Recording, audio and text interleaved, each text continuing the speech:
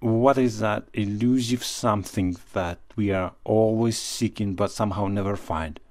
Is it happiness? Well, no, not really.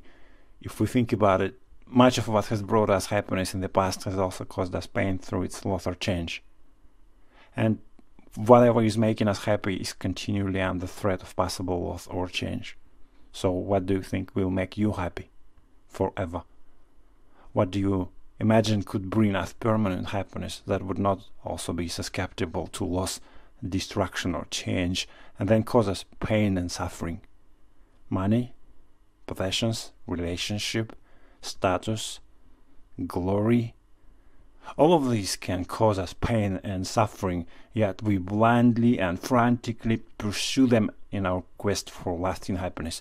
The truth is that whatever brings us happiness sooner or later causes us pain. This is a universal fact of life.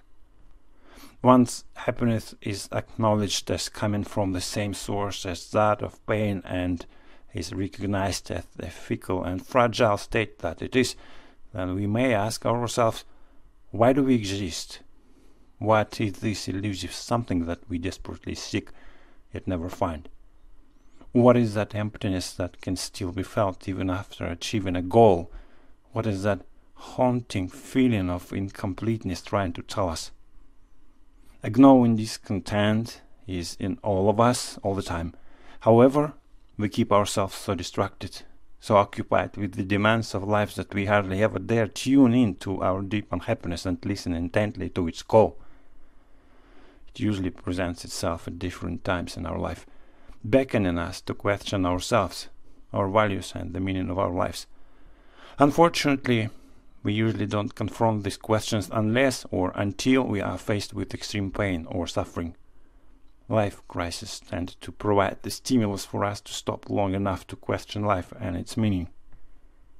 The question is, what do we earn for so deeply?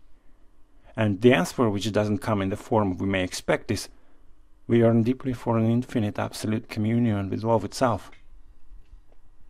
The experience that we seek and that will ultimately satiate all our physical, emotional, mental, and spiritual hungers, and always will be, to know ourselves as a whole, integrated infinite beings.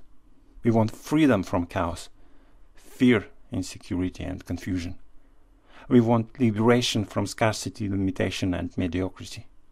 The fact remains that we cannot ever know real safety, real peace, real security, real love, or real joy until we acknowledge and willingly initiate this journey to wholeness. We will never be free from chaos. And be able to fully commune with Bob itself until we identify the one and only cause separation from our source of all our pain and suffering.